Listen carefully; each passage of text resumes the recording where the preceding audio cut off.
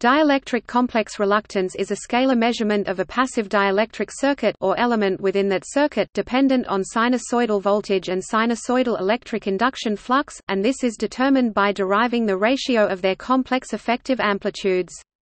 The units of dielectric complex reluctance are F minus 1 display style F caret minus 1 inverse farads see daraf ref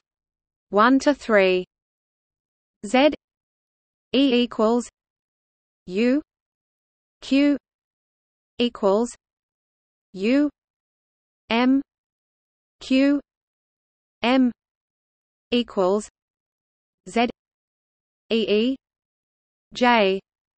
Phi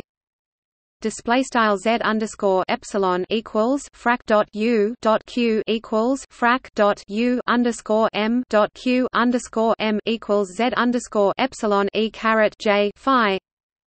As seen above, dielectric complex reluctance is a phasor represented as uppercase z epsilon where u display style dot u and u m display style E dot U underscore M represent the voltage complex effective amplitude Q display style dot Q and Q M display style dot Q underscore M represent the electric induction flux complex effective amplitude Z E display style Z underscore epsilon lowercase z epsilon, is the real part of dielectric reluctance. Lossless dielectric reluctance, lowercase z epsilon, is equal to the absolute value modulus of the dielectric complex reluctance. The argument distinguishing the lossy dielectric complex reluctance from the lossless dielectric reluctance is equal to the natural number e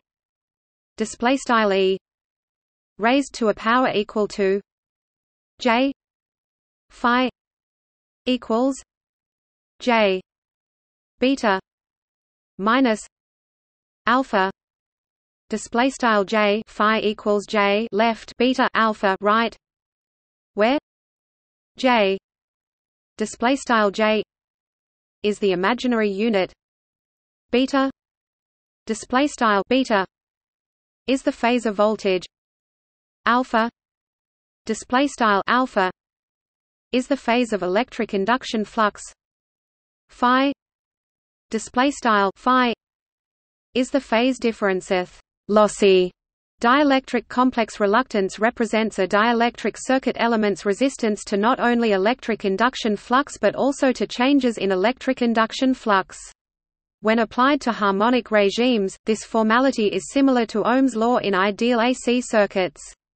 In dielectric circuits, a dielectric material has a dielectric complex reluctance equal to